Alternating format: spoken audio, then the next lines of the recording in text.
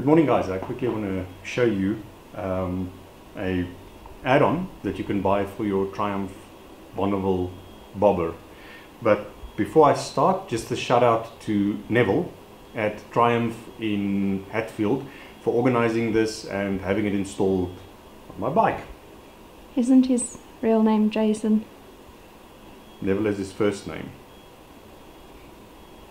Any case, the 12 volt socket that I'm talking about is this guy over here. Let me just take that out. It's this guy over here.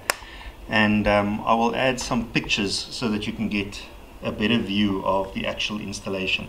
So again, Triumph has made all the provision for putting that guy over there. Now this is called a 12 volt socket. It's called a 12 volt DC socket. One website calls it a Deutsche socket. I cannot actually tell you what the proper name for this is. Another website even calls it a lighter socket. I thought it was a lighter socket, but it's not. It's way smaller than a lighter socket as you can see there. And um, it is made for these types of accessories.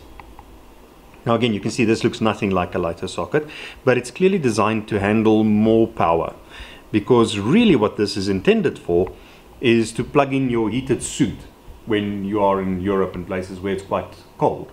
The reason I wanted it is because I want to charge my cell phone. I'm still waiting for the little cell phone holder to go over here and um, I want to use that as obviously as a GPS while I'm riding my bike and for the integrated Bluetooth system that I still haven't received for my Schuberth helmet um, so that I can see and the battery doesn't go flat. So I went to um, GPS for Africa. Now if you have a 1200 GS BMW motorcycle, you definitely want to go to that shop. It's like heaven on earth for people there. And they sold me for about 350 bucks. This guy, which is a dual USB outlet, and that very nicely fits into this socket over here.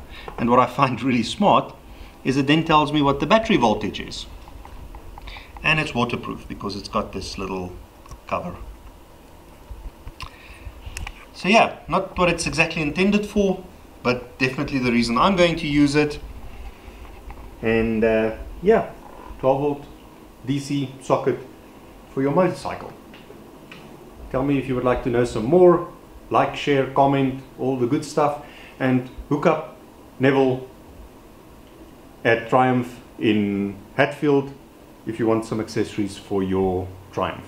Jason. Neville. And always remember that life is too short to drive boring bikes.